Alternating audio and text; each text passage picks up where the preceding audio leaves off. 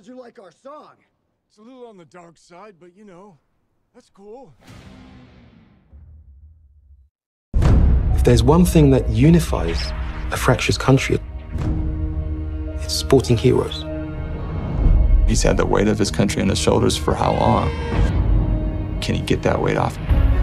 So you basically outran your captors. When I left Sudan, I said I will never, never run again.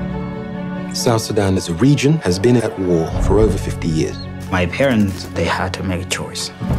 Do we want to let the child die in front of us, or do we want to send it somewhere? When did you last see your family? Was there ever a time where running was a way to escape from the past? Can you tell us when you arrived in America? It was mid-quarter. I just asked him if he ever ran before, and he said didn't know it was a sport. And he said, are you ready to run? I said, to run where? And then after that, it was just championships, wins, just took off from there. Eventually, it kind of dawned on me, like, he's got deep down stuff. The guys, my teammate, I could laugh with them, but inside me, my heart is always in fire because of the situation back home. The civil war in Sudan has killed more than 2 million people. The people of Sudan will vote on whether the nation should split into. This is the birth of a new nation.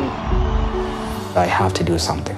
I'm running, I'm running, running, but something in my mind said, Olympic 2012. For Guor, he was running his first marathon. His goal was to qualify for the Olympics. It's going to give me opportunity. It's a ticket. There was this guy who suddenly was turning in good times in marathons and didn't actually have a country that he was running for. Two years after independence, a civil war started.